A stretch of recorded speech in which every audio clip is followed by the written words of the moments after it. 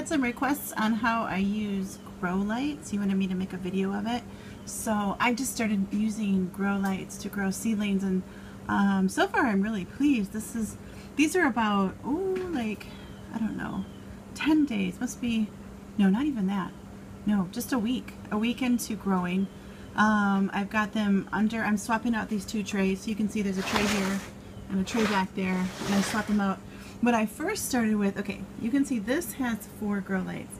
So we, we actually used one grow light to start out with.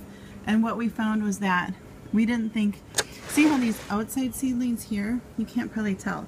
These are taller than the ones on the interior. What happened is they were actually reaching for the light. So they were reaching inwards towards the light which was shining just in the middle.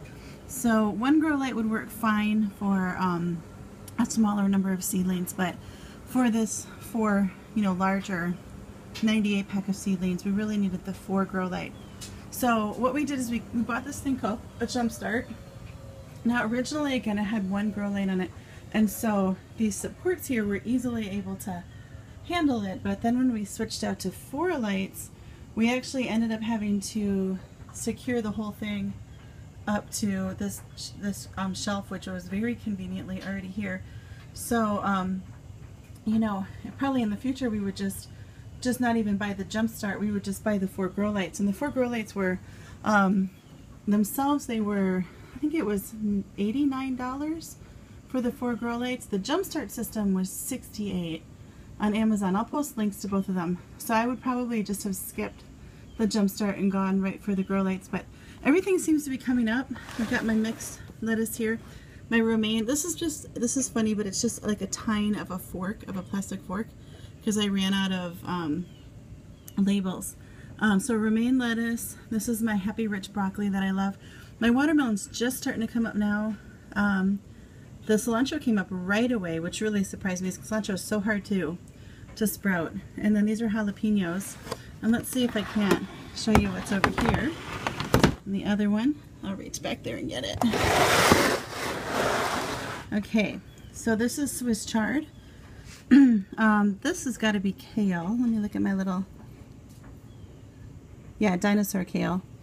Um, the cucumber, most of them came up. Um, this is um, this is toy Choy and this is celery. And what I what's really important, what I need to do is I only want two celery plants per hole. So I need to come and just snip um, the extra ones.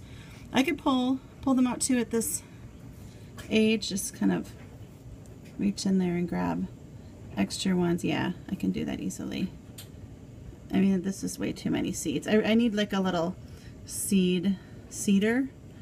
Um, you can get these little things that will help you put the right number of seeds in a hole. Um, but that's too many, so I'll actually eat these sprouts because they're really good. Yummy. So, um, that's it.